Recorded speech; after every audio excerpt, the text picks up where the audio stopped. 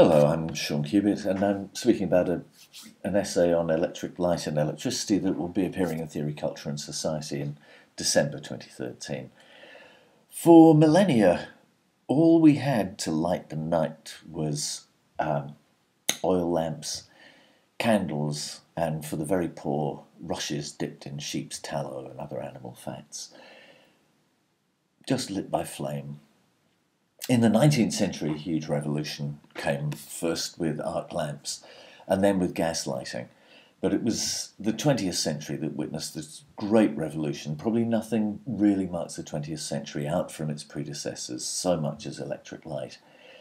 Thomas Edison famously invented the lamp, but he was more successful because he invented also the electric generator and the network to supply it. Very soon he capitalized this so heavily that competitors were almost entirely excluded from the market.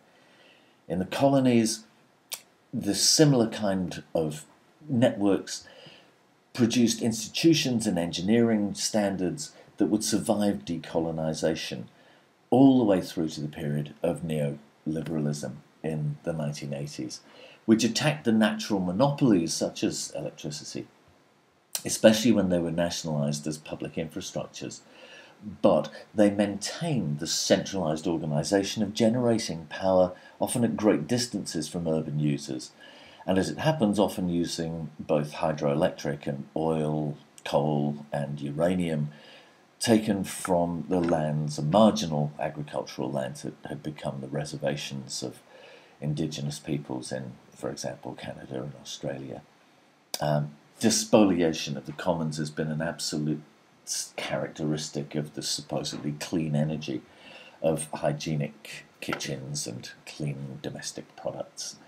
And that's without talking about batteries, the recycling of battery acids, and the horrors of lithium mining. The invention of real time spot markets for power in the neoliberal electricity market combines with the complexity of the system and its dependence on the very power it generates to, to power its computers to control the system. This sets the scene for a perfect storm of, for example, the northeast seaboard of the United States in 2003 and northern India's then recent deregulated market in 2012 the argument that I make here in the essay is that we need to think not only of complex systems falling into chaotic states, but of the role of capital, neoliberal capital, in creating real time markets that lend themselves to chaos and catastrophe. So, the alternatives. In the slums of the megacities, the most typical is to take electricity from the grid uh, through rather dangerous practice of simply tapping it, or alternatively of using often very dirty diesel powered generators to produce local power for local um, workshops and lighting. Light now is an essential commodity.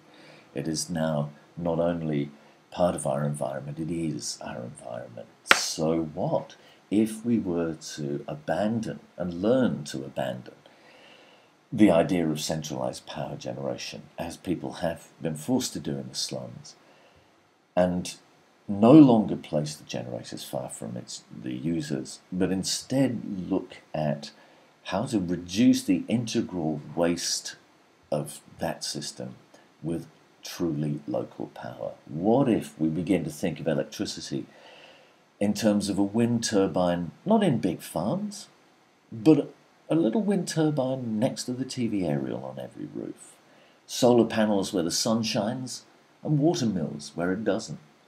We have atomized transport and we've centralized power. It's time to switch that round.